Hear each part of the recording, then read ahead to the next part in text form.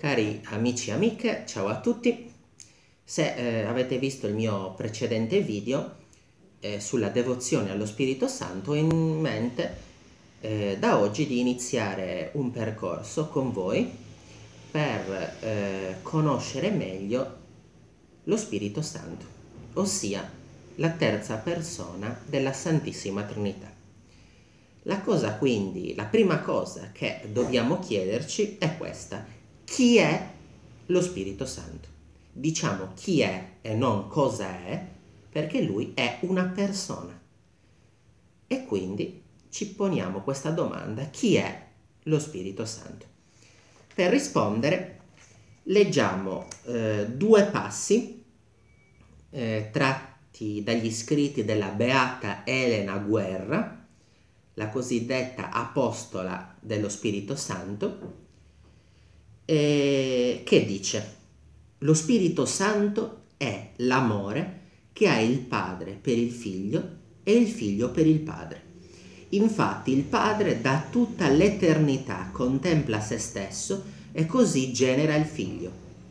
Padre e Figlio da tutta l'eternità scambievolmente si amano e così producono lo Spirito Santo, che è il loro sostanziale amore.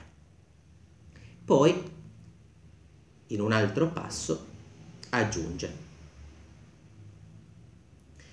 Lo Spirito Santo non è già un profeta, non è un santo né un angelo, ma è il maestro dei profeti, il santo dei santi, il Signore degli angeli, Dio d'ogni potenza e maestà, una delle persone della Trinità adorabile, procedente dal Padre e dal Figlio è uguale al Padre e al Figlio, in natura e potenza, cui è dovuta ogni gloria e onore, e che fin dal principio dei tempi era invisibilmente nel mondo come creatore e conservatore. Molto bene, questo video desidero proprio che sia brevissimo, perché ho deciso così, L'unica cosa che vi volevo dire è questa, ora che abbiamo, metterò anche un approfondimento nella descrizione tratta dal sito degli amici domenicani, e vi volevo proprio consigliare questo. Lo Spirito Santo, essendo una persona, anche se è puro spirito, anche se è invisibile, eh, dimora dentro di noi quando siamo in grazia di Dio, perché noi siamo il Tempio, il nostro corpo è il Tempio dello Spirito Santo. Quindi vi invito ad avere un rapporto di amicizia con Lui. Parlateci, parlate con lo Spirito Santo, confidatevi con lo Spirito Santo, affidategli davvero tutto, tutta la vostra vita, le vostre difficoltà, le vostre debolezze, i vostri peccati, davvero lui è il migliore amico che davvero eh, possiamo avere. Il Signore Gesù ce l'ha promesso, ha promesso che sarebbe stato inviato all'umanità lo Spirito Santo, che è stato inviato nel momento della Pentecoste.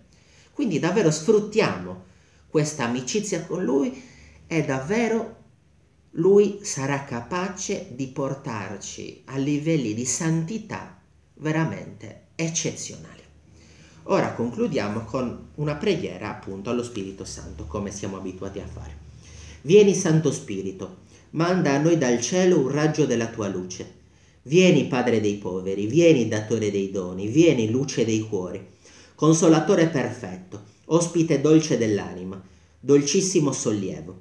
Nella fatica riposo, nella calura riparo, nel pianto conforto. O luce beatissima, invadi nell'intimo il cuore dei tuoi fedeli senza la tua forza nulla è nell'uomo, nulla senza colpa. Lava ciò che è sordido, bagna ciò che è arido, sana ciò che sanguina.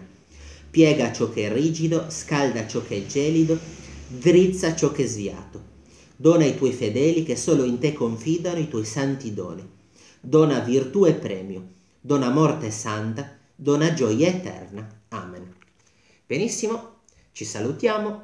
Vi ringrazio, insomma, eh, della visualizzazione dei, dei video e vi chiedo davvero di pregare per me eh, lo Spirito Santo, io vi prometto di pregare per tutte le persone che hanno visualizzato per ora i miei video, fino ad ora i miei video, e che li visualizzeranno in futuro. Poi se volete potete iscrivervi al mio canale o seguirmi sui social. Ciao a tutti!